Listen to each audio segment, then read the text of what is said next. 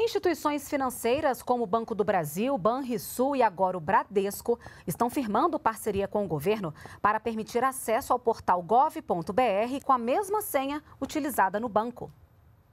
Com a adesão dos bancos ao portal GovBR, os correntistas vão poder utilizar a mesma senha bancária para acessar os serviços do governo, sem precisar fazer novo cadastro no portal a sua conta e senha bancária, aquela fácil que você utiliza diariamente, permite acesso a serviços como a carteira digital de trânsito, a emissão de uma carteira de trabalho digital, é, uma solicitação de um serviço de limpeza urbana ou pagar o IPVA do seu veículo. O primeiro banco privado a aderir a essa integração com o portal único do governo foi o Bradesco.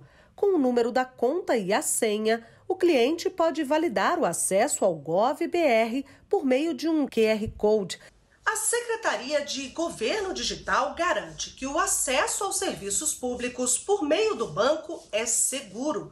Assim que o cliente valida o cadastro, o governo acessa apenas os dados básicos, como o nome e o CPF, e não a conta bancária do cidadão. Nós consideramos esse projeto como um embrião da identidade digital, que será muito importante para a redução do risco de fraudes, tanto nos bancos quanto ah, nos serviços públicos. Juliane já se cadastrou no GovBR utilizando a conta bancária. Para a gente é uma comodidade né, do que sair, ainda mais nesse período que a gente está aí, pandemia, nessa né, crise. Então é importante.